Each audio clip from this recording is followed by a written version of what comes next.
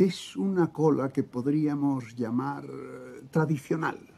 Hecha a partir del esturión, creo. Cola de esturión, sí. Es una especie de subproducto, ¿no es eso? Sí.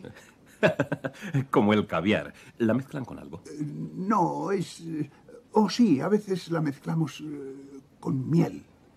Sí. Ya, ¿con miel de abeja. Sí, como plastificante. Plastificante. Me parece un uso perfecto de materiales y resulta puros. muy bien. Estupendo.